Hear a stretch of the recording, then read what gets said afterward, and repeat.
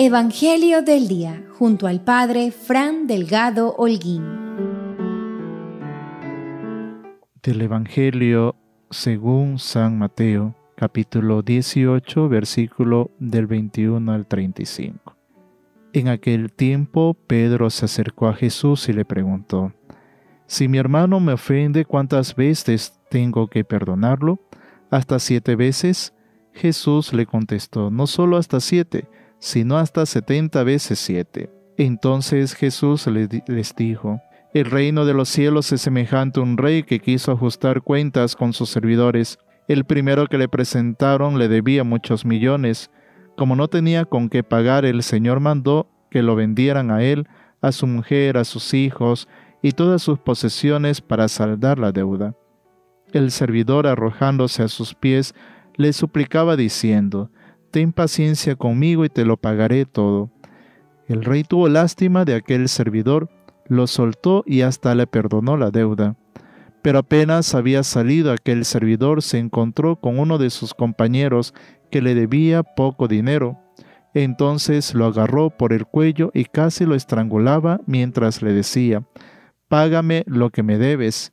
El compañero se le arrodilló y le rogaba, Ten paciencia conmigo y te lo pagaré todo. Pero el otro no quiso escucharlo, sino que fue y lo metió en la cárcel hasta que le pagara la deuda. Al ver lo ocurrido, sus compañeros se llenaron de indignación y fueron a contar al rey lo sucedido. E entonces el Señor lo llamó y le dijo, Siervo malvado, te perdoné toda aquella deuda porque me lo suplicaste. ¿No debías tú también haber tenido compasión de tu compañero, como yo tuve compasión de ti? Y el Señor encolerizado le entregó los verdugos para que no los soltaran hasta que pagara lo que debía. Pues lo mismo hará mi Padre Celestial con ustedes si cada cual no perdona de corazón a su hermano. Palabra del Señor. Gloria a ti, Señor Jesús.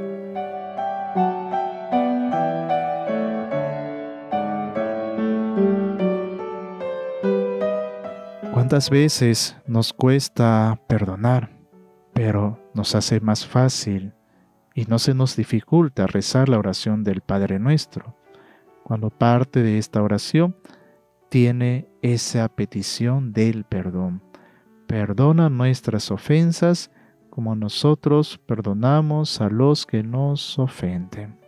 ¿Por qué nos cuesta muchas veces perdonar? Porque no lo hemos dado todo. Muchas veces buscamos en dar y recibir algo a cambio, cuando el Señor lo ha dado todos y no espera nada a cambio. ¿Qué es lo que espera de nosotros? Ese acercamiento sincero hacia Él. Pues eso es lo que espera, ¿no? No espera ningún tipo pues de, de lujos, no espera algo material, sino más bien esa donación total. ¿Hasta cuántas veces tengo que perdonar? Hasta siete, no solo hasta siete, sino hasta setenta veces siete. Por eso es que pidamos al Señor en este tiempo de cuaresma que estamos viviendo, por esa persona que nos ha hecho daño. Pongámoslo en nuestra oración y digámosle al Señor que haga que nuestro corazón esté dispuesto a perdonar y amar a quienes nos han ofendido. Hemos escuchado el Evangelio del Día por la voz de María 88.1 FM.